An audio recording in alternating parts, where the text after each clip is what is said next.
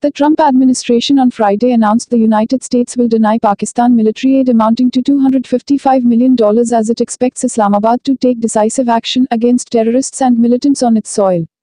The United States does not plan to spend the $255 million in free 2016 in foreign military financing for Pakistan at this time, said a spokesperson of the President's National Security Council in a statement to Hindustan Times.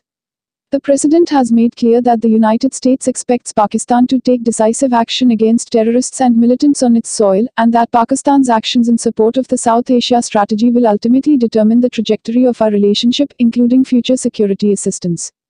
The administration continues to review Pakistan's level of cooperation. The statement reflected and sealed the administration's complete disillusionment with Pakistan, which had sought to brazenly disregard the explicit warnings issued by President Donald Trump personally and leading members of his cabinet, such as Secretaries James Mattis and Rex Tillerson. This could be the severest blow dealt to Islamabad by this administration if it indeed decided to withhold it, said a leading US expert on Pakistan, who did not want to be identified.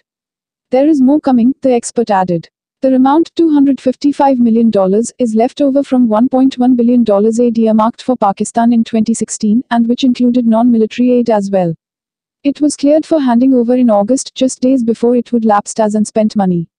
First reported by the New York Times, the move to withhold the money, which may not be large but would have signaled US backing, is reported to have come shortly after Pakistan refused to hand over to the Americans an operative of the Haqqani network apprehended during the rescue of an American Canadian family in October.